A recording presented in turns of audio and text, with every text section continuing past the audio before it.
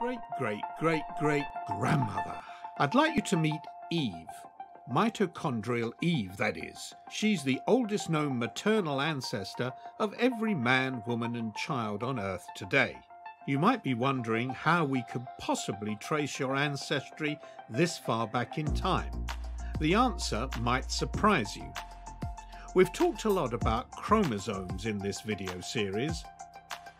Well, there's another type of DNA you have that isn't in your chromosomes.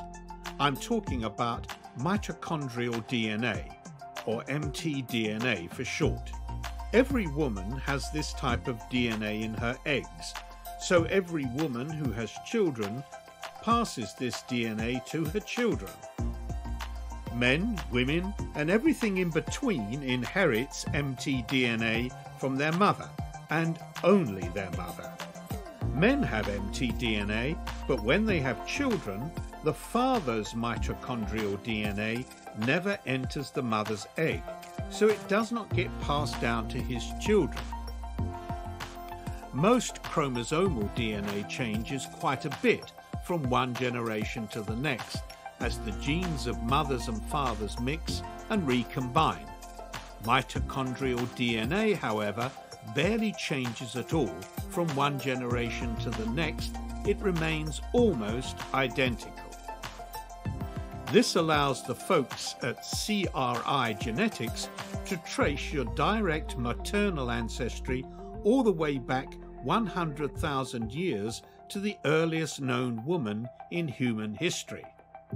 mtDNA changes so little, so rarely, that it takes thousands of years worth of generations before a new branch on the mtDNA family tree arises.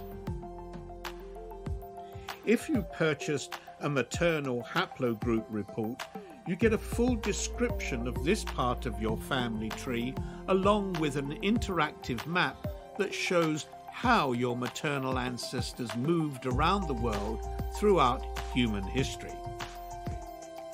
Every man who has male children passes on his Y chromosome to those children. Like mtDNA, the Y chromosome remains almost identical from one generation to the next. It's a similar concept, except this time it's the Y chromosome that's used to trace direct paternal ancestry.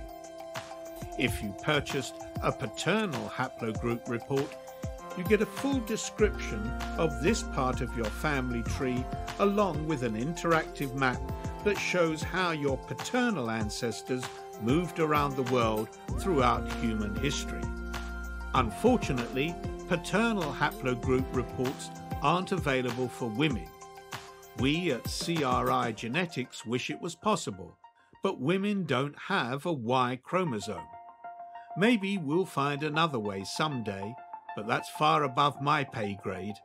Until then, the only way for women to learn about paternal ancestry is to either have her brother or father take a DNA test.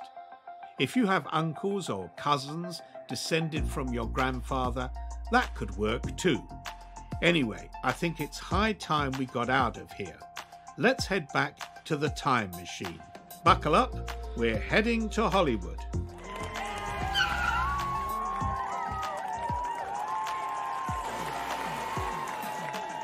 Now, the cool thing about those haplogroups I just told you about is many people all over the world have the same mtDNA or Y chromosomes as you do.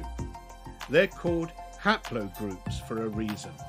You're all part of a group of people who share the same DNA.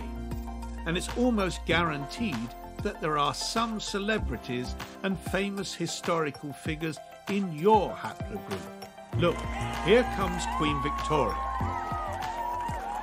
So, if you purchased a famous people report, you can find out what famous people you are related to. Here comes the king.